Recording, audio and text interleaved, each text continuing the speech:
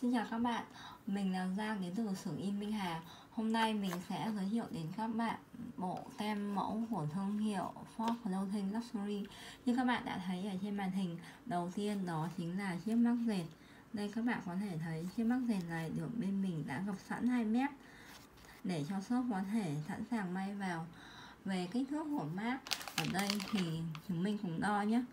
Chiều ngang của nó là 7cm và chiều rộng là 5cm với kích thước to như thế này thì mác sẽ được dùng để may vào áo mùa đông áo phao áo rất là dày.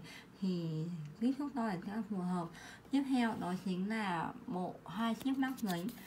À, đây các bạn có thể nhìn thấy đó chính là một chiếc mác giấy màu vuông này và một chiếc chữ nhật.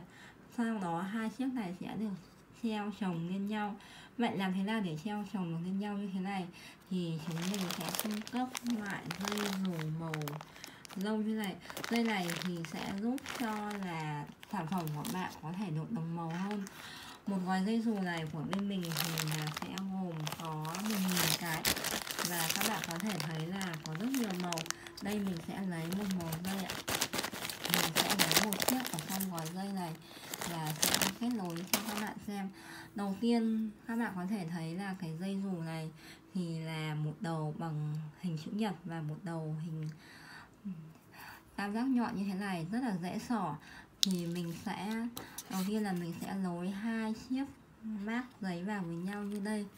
Sau đấy thì, đây, mình cứ giả sử như đây là chiếc mác vải đã được may vào rồi, thì sau đấy chúng mình sẽ sập trực tiếp như thế này. Thì là sản phẩm mác đã được treo vào thành một bộ hoàn chỉnh, các bạn có thể hình dung như thế này. Và các bạn có thể thấy là khi mà mình dùng chiếc dây dù này khi đã sập vào rồi thì rất là khó có thể kéo được ra. Và đây là một chọn, một bộ sản phẩm của thương hiệu fox mà bên mình đã làm. Cảm ơn các bạn đã theo dõi sản phẩm của xưởng y Minh Hà. Mọi chi tiết xin vui lòng liên hệ. Instagram 0948 056 712 Cảm ơn các bạn đã theo dõi video.